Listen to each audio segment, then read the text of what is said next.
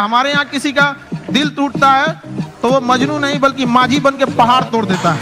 हर जगह उगते सूरज की पूजा की जाती है हमारे यहाँ डूबते सूरज को भी पूजा किया जाता है। हमारे यहाँ युद्ध से पहले बुद्ध पढ़ा दिया जाता है। तो हम उस जगह से आए जहाँ पे किसी को अगर किसी को ऐसा लगेगा कि उसको दबा के उसको रास्ते से हटाया जा सकता है तो नहीं हो सकता। है चार तीन दो का है पूरा पावर सेट में झोंक दिया ना।